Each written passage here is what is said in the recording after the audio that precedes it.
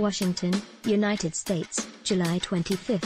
ANI, President Donald Trump made a vow yesterday to repeal legislation renaming military bases that honor Confederate leaders.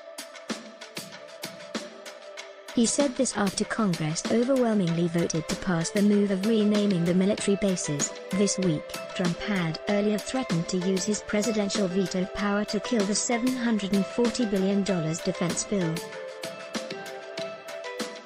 However, he was overruled by lawmakers when the Senate and the House both approved the measure with veto-proof votes of 86 to 14 and 295 to 125, respectively. New York Post reported, Trump has always been an opponent of the idea from the beginning.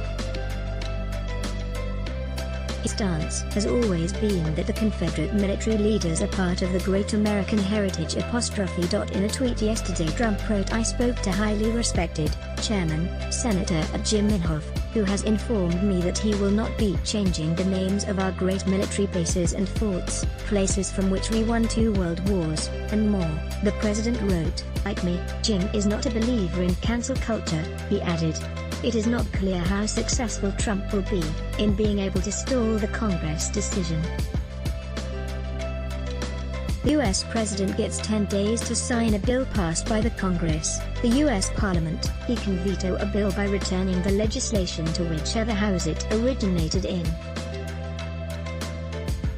This veto can only be overruled only by a two-thirds vote each, in both the houses of the Congress. If this occurs, a bill will become a law over the president's objections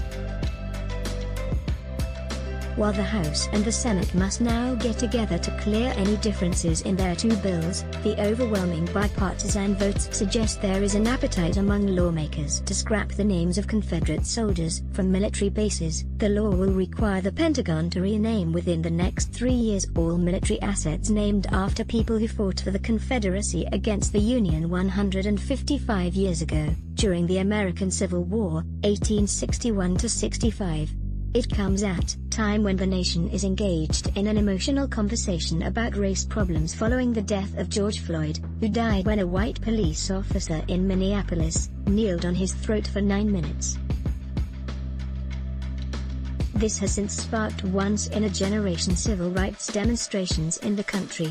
ANI, let's block ads. Why? Show your love for him.